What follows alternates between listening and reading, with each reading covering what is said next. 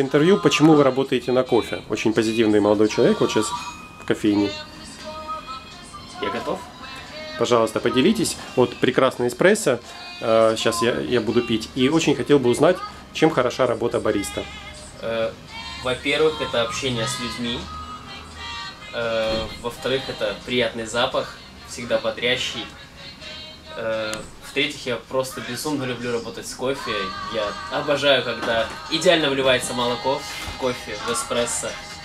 Вот, так что заходите, всегда сделаю самый вкусный кофе.